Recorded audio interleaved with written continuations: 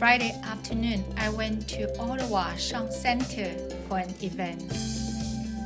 The participants were asked to write Love, Hope, Unity on the painting. This painting was commissioned by Heritage Canada and will be officially donated to Ottawa Shaw Center. This is also symbolized that after three years pandemic, Ottawa Shaw Center reopened to the public.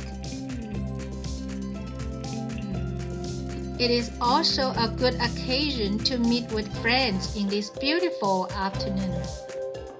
We had a best table in the house. I liked it. You can see the Parliament Hill and listen to the music. The nice part of the event was they served wine and delicious snacks.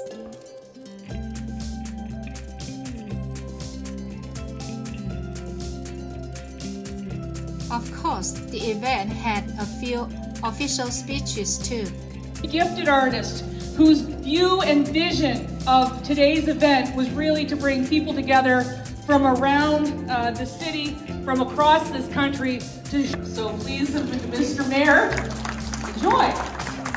The theme of The Color of Unity is Canadian multiculturalism, hope, love, and unity.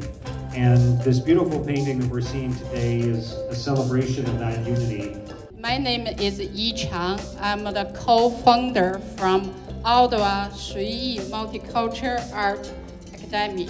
But now this painting is more powerful now because with every single person's sign. So this really, really is a big meaning of unity now. There was artist performance as well.